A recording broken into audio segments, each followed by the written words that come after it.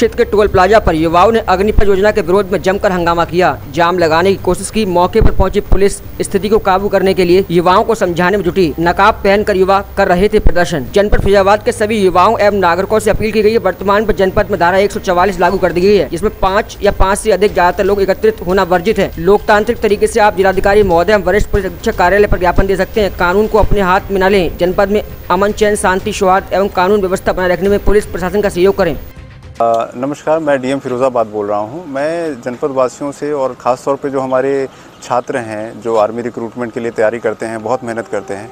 उनके सभी अभिभावकों से, उनके टीचर्स से मैं ये अपील करना चाहूँगा कि किसी भी तरह का कोई भी हिंसक प्रदर्शन उनके फ्यूचर के लिए अच्छा नहीं है।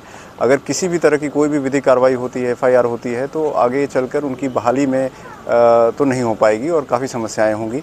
दूसरा, जो भी ये पॉलिसी है अग्निपथ की, इसमें तीन तीन प्रतिशत ही सौ में से सिर्फ़ तीन बच्चे इसके तहत लिए जाएँगे। बाकी के, बाकी 97 परसेंट संतानवे बच्चे जो हैं, वो अपनी पुरानी व्यवस्था से ही लिए जाएँगे।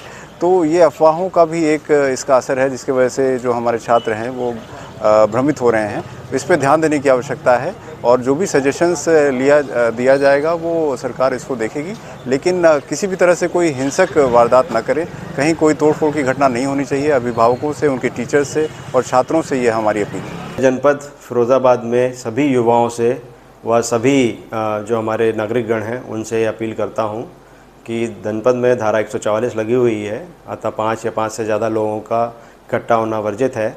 इसको देखते हुए कोई भी व्यक्ति कानून को हाथ में ना ले, वह शांतिपूर्ण तरीके से लोकतंत्र में जिस तरीके से ज्ञापन वगैरह जो तरीके होते हैं, जिसमें एसपी ऑफ़िस, डीएम ऑफ़िस, तहसील, थाना, इन सभी जगहों पर आप अपने ज्ञापन दे सकते हैं, शांतिपूर्ण तरीके से अपनी बात को रख सकते हैं। तो इसको देखते हुए कोई भी व्यक्ति कानून अपने हाथ में ना ले कोई भी व्यक्ति धारा एक का उल्लंघन ना करे व शहर में अमन चैन शांति विकास के लिए प्रशासन व पुलिस का सहयोग करें। शुक्रवार की नमाज़ और जो अग्निपथ है उसके आ, उसको देखते हुए आज जिला पुलिस में लगभग 2000 पुलिसकर्मी एक कंपनी जो है वो हमारी सेंट्रल पैरामिलिट्री फोर्सेस की आईटीबीपी की और पीएसी की कंपनी भी हमारी जो है वो लगी हुई है ड्यूटी पे।